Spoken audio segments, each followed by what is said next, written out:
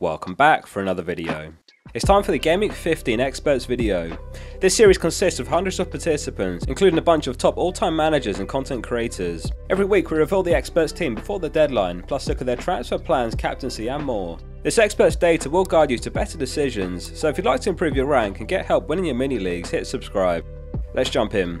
So the top expert heading into Game Week 15 is Eric Bailly, who's on top after scoring a whopping 80 points last game week. His total points now 889. His rank history includes 3 top 10k finishes and a further 7 top 100k finishes. Some razor sharp transfers by Eric recently, bringing in White Saka and Trossard, who have all immediately returned after. So let's have a look at the experts transfer activity for Game Week 15. After a lot of rolled transfers last game week, nearly all the experts are spending theirs. Just 2% are rolling the transfer, 60% are making one transfer, 35% are making two, and 2% are making three. One expert's making four transfers. All the experts that are making three transfers are on a minus 8 here, as is the manager who's making four transfers. Rather bold, with just two game for it to be repaid. As far as which players the experts are transferring in and out, it's Wilson comfortably top. 41% of the experts making a transfer are getting Wilson. He may well have played himself into Southgate's England squad even, with the form he's shown recently. 19 points in Game Week 14 from 2 goals and 2 assists, and he's now on 9 returns in 9 games this season. With Toney the most sold following the suspension, Wilson is the obvious replacement, and he does face Southampton. Rashford is the second top transfer who's certainly done enough for an England spot too, and he scored the winner last game week against West Ham. Man United's final two games before the World Cup are Aston Villa and then Fulham. If we get any early news that Foden is benched again, then Rashford is a great pick, as is Trossard and Bowen, who some experts have picked up as well. It's certainly going to be a game dictated by early news, for better or worse. Still question marks over Foden's chances of starting, and whether Haaland will be involved. Haaland was spotted training with the team on Thursday, so there is hope and he's worth keeping at this point, unless we get news that he's not with the squad on Saturday. That said, 150,000 managers have already sold him since the deadline, which is a pretty wild move to make at this point. Foden played 90 minutes in the Champions League while Grealish was withdrawn at half time. Pep citing that the sub was because he needed Grealish next match. You never know of Pep though. De Bruyne was rested midweek in that Champions League fixture, coming on just at the end of the match, and he still managed to pick up an assist three minutes later. If Haaland is out, then he's the stand-up captain. A few managers have sold Salah and perhaps making that switch to De Bruyne this week. It's just two game weeks to go before the entire game is essentially reset with unlimited transfers, so it is an opportunity to take a punt if you wish.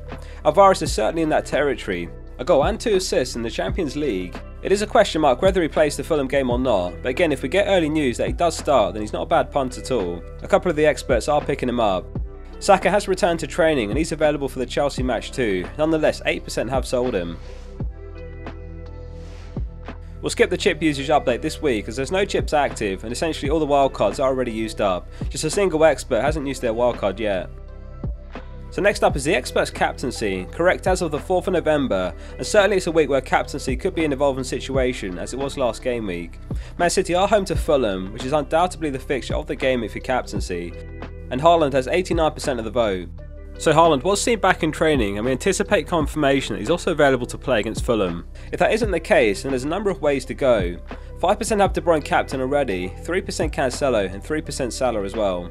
If you missed the Game Week 15 preview video, as always it covered the top goal scorer odds and top projected points for Game Week 15, which is a particularly useful one this week in case Haaland is out. There is a debate to be had on the leaks and the edge that they do give to some managers.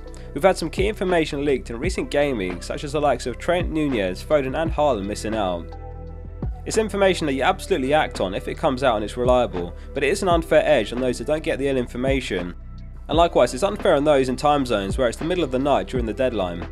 Nonetheless, in case we do get early news, it's sensible to put a few plans together in advance based on possible outcomes that may affect you. For example, if you own Foden and Haaland, then make a plan for if each misses out, or even if both miss out.